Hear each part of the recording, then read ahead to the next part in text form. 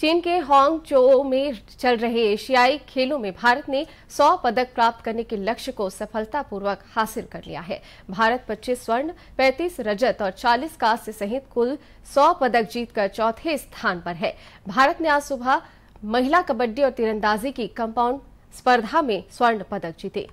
भारतीय कबड्डी टीम ने चीनी ताइपे को रोमांचक मुकाबले में 26-25 से हराकर देश के लिए सौवा पदक हासिल किया। तीरंदाजी में पुरुषों के व्यक्तिगत कंपाउंड फाइनल में ओजस देवतले ने आज स्वर्ण पदक जीता, जबकि अभिषेक वर्मा को रजत पदक प्राप्त हुआ। इससे पहले आज सुबह शानदार शुरुआत करते हुए महिलाओं के व्यक्तिगत तीरंदाजी कंपाउंड मैचों में ज्योति सुरेखा विन्नम ने स्वर्ण और अदिति गोपीचंद स्वामी ने कांस्य पदक पर कब्जा किया। कुश्ती के मुकाबले भी शुरू हो चुके हैं। राष्ट्रपति द्रौपदी मुर्मू और प्रधानमंत्री नरेंद्र मोदी ने एशियाई खेलों में 100 पदक जीतने पर भारतीय एथलीटों को बधाई दी है। सोशल मीडिया पर एक पोस्ट में प्रधानमंत्री ने कहा कि ये एशियाई खेलों में भारत के लिए एक यादगार उपलब्धि है। श्री मोदी ने कहा कि 100 पदकों की महत्वपूर्ण उपलब्धि हासिल करने पर हर देशवासी रोमांचित है।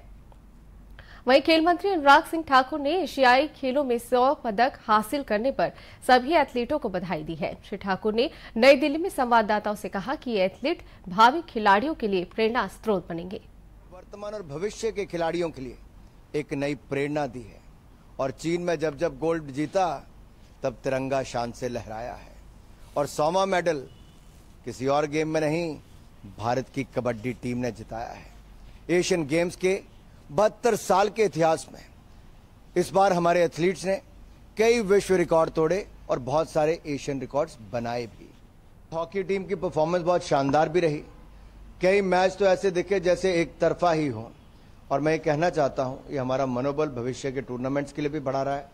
और ओलंपिक कोटा जीतने के साथ साथ कई खिलाड़ियों ने सुनिश्चित किया कि अगली बार ओलंपिक्स में भी हम शानदार प्रदर्शन करेंगे। गौरतलब है कि एशियाई खेलों में भारत कब तक का यह सर्वश्रेष्ठ प्रदर्शन है।